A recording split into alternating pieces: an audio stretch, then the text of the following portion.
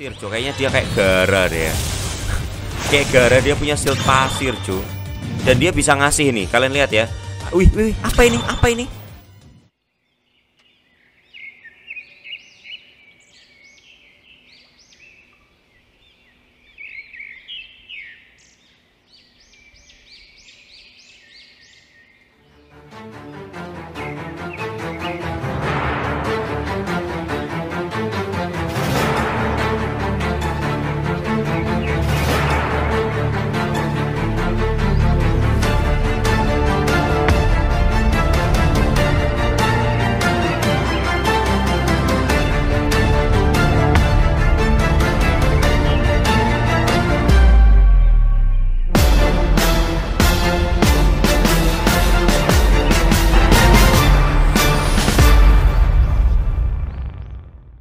Oke cuy kembali lagi channel Gaming channel free player aja menampung hanya untuk keampasan. Oke sekarang kita ada di server Cina ya server induk cuy. Dan uh, ini hari terakhir dari Bidwar Lunala ya. Hari terakhir dari Bidwarnya si Lunala. Loh, Ini bukan Dito. Nah kan Dito kan. Nice diamond dong. Nice 100 diamond. Oke nah ini adalah Bidwar terakhir dari si Lunala ya Dan ini kalian lihat cuk. Udah nyampe 13.000 dong. Ada yang udah nyampe 13.000 poinnya ya. Ini kayaknya bakal Sumpah bakal serem banget ntar nih. Ini udah ada enam orang dong ya. Enam orang doang yang kelihatan mau ngambil nih. 3500 3500 ini 5000 Padahal ini 3500 aja cukup Jo Tapi nggak tahu nih nanti bakalan salip-salipan atau enggak Tapi kalau aku lihat dari gapnya ya Karena jauh banget itu kayaknya enggak ada ini udah nyerah semua udah cuman bertahan di posisinya masing-masing ini mah. Tapi ini sumpah kalian lihat ini level 85 loh. Level 85 VIP 7 dia. Gila cuma nunggu Lunala doang gitu nih ini ultimate skill dari si Lunala ya sumpah. Untuk sekarang Pokemon S yang ultimate skillnya animasi ya animasi ultinya paling bagus menurutku Lunala ya itu yang ultimate skillnya paling bagus. Yang paling aku suka Lunala. Untuk bordernya juga yang paling aku suka Lunala cuy kalian bisa lihat border Lunala ini ya. Kalau kalian menang uh, di mana namanya? Bidwarnya cuy kalau kalian menang bidwar Lunala kalian bakal dapat border paling keren menurutku sekarang. Mana dia? Nah ini cuy wih keren banget. Keren banget. Apalagi pas kebangkitannya cuy nih tapi dia nutup men. Pas bangkit dia malah nutup. Tapi nggak tahu tuh uh, ada mata ngintip cuy Oke paling bagus tuh. Kalau sebelumnya kan aku paling suka sama si ini ya si siapa namanya Sol Galeo yang merah cuy ini kan Sol Galeo yang biru. Set nah pas awak kening itu pas merah hmm nice banget bagus banget. Ya untuk animasi ulti yang paling aku suka sebelumnya kan Sol Galeo ya. Volcanion aku nggak terlalu suka biasa aja gitu kayak Groudon awal gitu ya kayak Groudon sebelum jadi Primal Groudon. Nah kalau untuk si Sol Galeo itu sumpah keren banget ya keren banget. Oke kita karena ini lagi PVP pick match juga ya di server Cina lagi PVP pick match kita coba lihat-lihat ya cuy kita coba melihat meta PVP pick matchnya pick matchnya. Habis itu kita coba nanti lihat unlimitednya. Kita coba lihat sekali-sekali ya. Ini yang highlight pick match ya kayaknya bentar ini apa ini lulu lulu lulu lulu lulu bentar ini apa ya aku nggak ngerti sekarang uh, yang pick match nggak di save kah pertandingannya oh pick match yang ini ya Iya nggak sih? Coba kita lihat. Bentar. Oh iya iya cuy ya. Sorry sorry sorry salah. Ini itu hasil pertandinganku ya.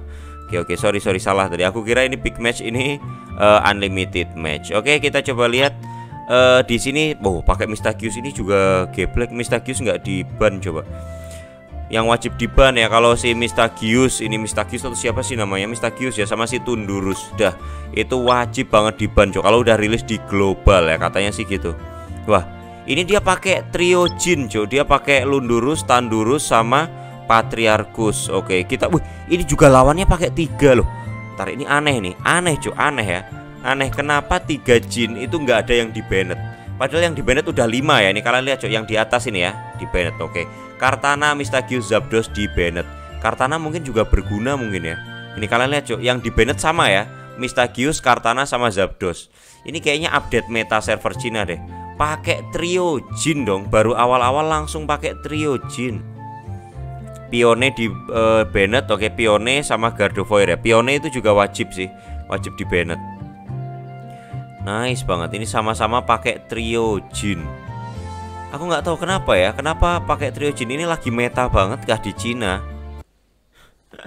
Sumpah kayaknya trio Jin lagi meta banget di Cina tuh. Aku nggak tahu skillnya ya, aku nggak terlalu tahu skillnya cuy.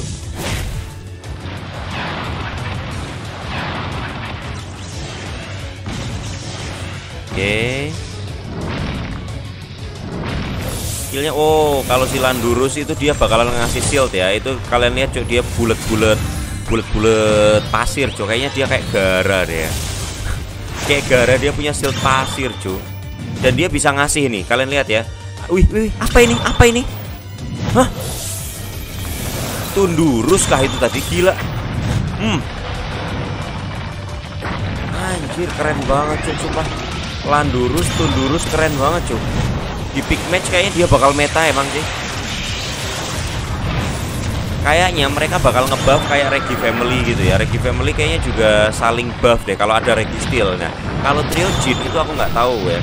Aku nggak tahu skillnya. Aku belum pernah sama sekali review belum pernah sama sekali ngelihat skillnya cuy tapi ini keren banget sih. Nah ini nih. Pokemon yang bisa ngeheal kedua tim. Nah ini. Wuh Landurus nih. Hmm nah ini loh ya masa bisa ngeblownya lebih dari satu Pokemon cuy Bayangin Pokemon S skillnya lebih bagus daripada Rayquaza yang Pokemon S Plus. Rayquaza itu bisa ngeblow tapi satu Pokemon doang. Lah, tadi siapa? Aku nggak tahu ya. Entah itu Tornadus. Kayaknya Tornadus deh ya. Kan tornado kan ya, tornado. Jadi Tornadus itu dia bisa nerbangin Pokemon satu tim kayaknya deh. Gila, satu tim diterbangin tadi kayaknya. Oke, kita coba lihat lagi deh. Ini unlimited nanti di video yang lain aja. Bawa trio Jin ya. Ini kan? Ya mereka bawa trio Jin. Di ini masih bawa ya Tundurus Tornadus. Tundurus Tornadus jarang ya yang bawa Landurus. Nah ini ada sih ya ini yang tadi ya yang bawa Landurus. Oh enggak enggak ini bawa. Oke oke oke. Kita coba kita coba lihat ini deh ya kita coba lihat ini. Kalau tadi kan tiga lawan tiga ya. Trio Jin lawan tiga trio Jin lawan tiga. Trio trio Jin. Trio trio Jin. Apaan trio trio Jin? Tiga trio Jin. Sekarang kita coba ini deh ya. Kita coba ini. Dia cuman bawa satu dari trio Jin doang ya. Bawa si Landurus doang. Oke itu udah bawa si Tornadus ya. Si Tornadus ini tinggal blow-blow doang Oke Tundurusnya di ban ya. Tundurusnya di ban dan Zoroark juga di ban. Oke ini berarti emang uh, si Landurus versus uh, siapa itu? Tornadus ya? Landurus versus Tornadus cuy tapi rata-rata dari tadi emang kalau bawa si Tornadus itu pasti selalu ditaruh di belakang men ya. Setiap orang yang bawa si Tornadus selalu ditaruh belakang. Kalau tur uh, Landurus itu ditaruhnya di depan karena emang mungkin rollnya ya. Loh, udah hilang aja si Landurus satunya. di blow sama si ini ya di blow sama si Tornadus kan Nah ya bener ya di blow sama si Tornadus tadi Cuk. Berarti nggak tahu itu skill satunya atau skill duanya si Tornadus Itu dia bisa ngeblow. Nah ultinya itu juga bisa ngeblow Cuk. Gila banget nih. Set ya Naik semua naik naik naik. Gila tiga Pokemon langsung mainnya. Tiga Pokemon diterbangkan begitu saja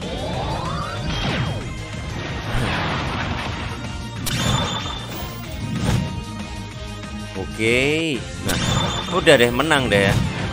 Menang emang kuncinya ada di Tornadus ya. Kuncinya ada di Tornadus. Jadi kalau musuh kalian nggak ngebawa Tornadus itu kalian kayak bakal dipastikan kalian akan menang gitu, cuy.